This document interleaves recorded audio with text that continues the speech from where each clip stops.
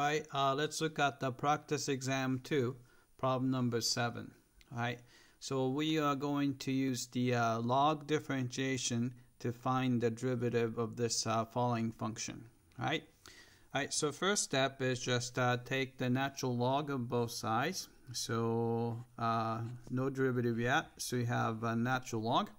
So you have a natural log of the left-hand side is just the natural log of y. Then you have a natural log of this uh, kind of uh, complicated expression, uh, x to the 8 uh, cosine of uh, cosine raised to the third of x, and then you have a square root of um, x minus 1. All right. So since uh, we have a convenient log property, when you have a multiplication so indicate so this is a multiplication here and there's a division there right? So when you have a multiplication we can split it as the addition. So we have a log natural log of x cubed. So we have that. Then multiplication becomes addition. Then you have a natural log of uh, cosine cubed of x right? And then if you have a division, it becomes the uh, subtraction. So you have a natural log of uh, square root of um, x minus 1. Right? Then another uh, log property allows us to move uh, this um, power. If you have a power here, you can place it in front there, right? Then you have a cube there, so you can 3 goes in front.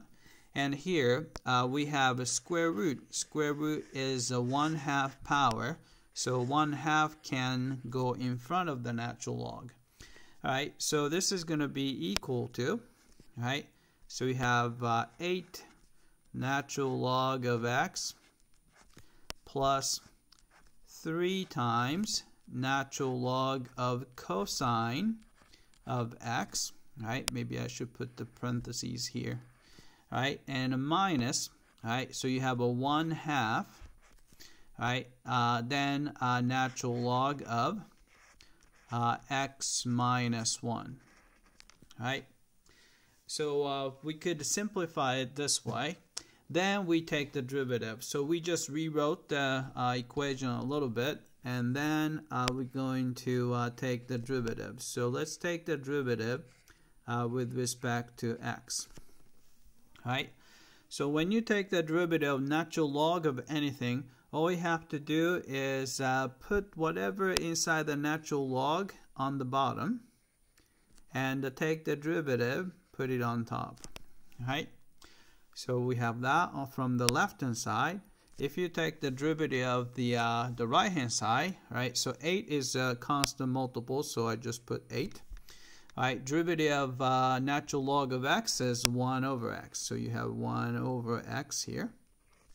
All right, plus, all right, 3 times derivative of natural log of cosine of x is uh, you put the cosine of x on the bottom and take the derivative of that, put it on top. So it's a negative sine of x, right?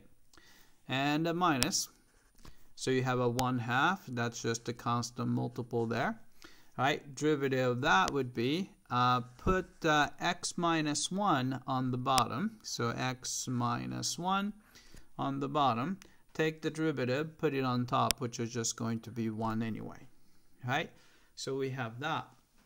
All right, then last step would be uh, we just have to multiply both sides by y, which is the original function, so that uh, we have just uh, y prime uh, on the uh, left-hand side. So we multiply by y, so we get the y prime, which is what we are looking for, right? So I'm just going to simplify the right-hand side a little bit. So I'm going to write uh, 8 times 1 over x as 8 over x, right? So you have a negative sign and a 3, so it's a negative 3. Right? Sine over cosine is tangent, so I'm going to put tangent here. Tangent of x, right? Then uh, you have, uh, we can't do much about it, but uh, I'll just put the 2 on the bottom maybe. So it's a 1 over and 2 times uh, x minus 1, right? Then uh, maybe I'll put the uh, square bracket instead of a parenthesis. I already used the parentheses there so that we don't get confused right? remember that we have to multiply by y. So we multiply both sides by y. But down here, I'm going to put the original function. So it's going to be x to the eighth times cosine cubed of x over square root of uh, x minus 1. All right?